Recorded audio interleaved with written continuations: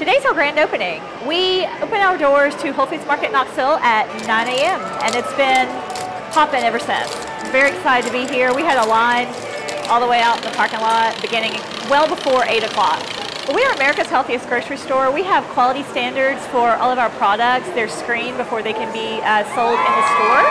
We have no artificial colors, flavors, preservatives, no hydrogenated oils. We have a rating system for our, our produce, seafood, and meat.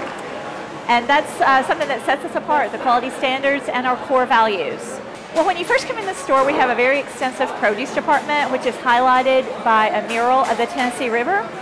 And we have a seafood department, meat. We've got the hot bar area, which you can come and have lunch or dinner. We've got salad bar, hot bar, olive bar, pickle bar, great specialty department with cheeses, beers, chocolates.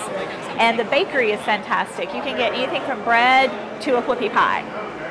We have a really active uh, social media group, and everyone in the community has been so excited, um, asking questions, very, very involved about.